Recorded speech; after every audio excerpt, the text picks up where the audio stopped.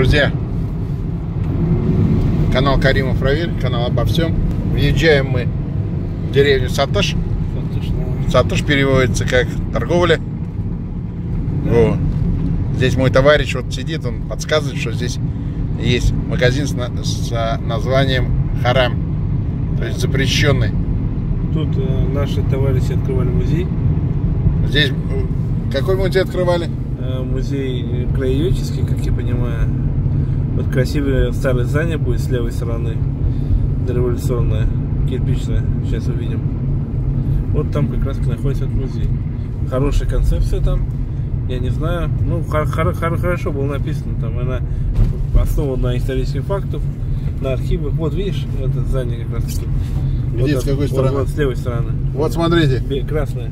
красное здание, Дореволюционное. старое дореволюционное здание, здесь будет краеведческий музей. Обалдеть. Обалдеть. Вот оно. А вот с правой стороны как раз идет известный магазин. Должен быть. Где? Вот, вот сейчас будет справа, вот там, видишь, после пешеходного перехода. Вот, вот, вот. Ну-ка. Остановитесь. Да, название Харам. Человек честно сказал, что там запрещенный к, к- употреблению мусульманами продукции. Причем халяльная продукция тоже, скорее всего, превращается в харамную. Так, в таком исполнении. Вот такая вот деревня, относительно богатая. Деревня относительно богатая. Вот. Все, мы поднимаемся в гору. И там этот собой уже видно. Друзья, канал Каримов Равиль, канал обо всем.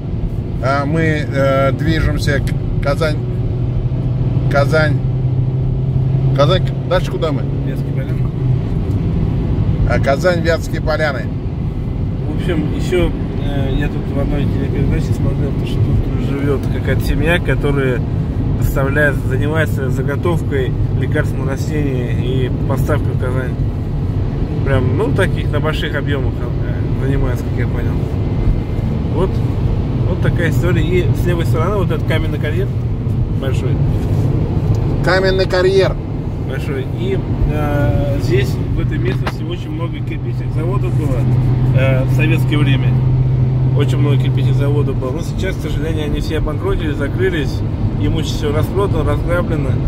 Вот, хорошая здесь глина именно для кирпичей в этой местности. Ну, практически каждой деревне был свой маленький кирпичный завод. Своими печами и так далее в этой местности. Край кирпичей. Глина хорошая. Московский Кремль строился итальянцами из, из ки- кирпичей, взробленных э, в этой деревне. Наверное, ты откуда ты все берешь, а? Это берется все из головы. И Канал Каримов Равиль, канал обо всем.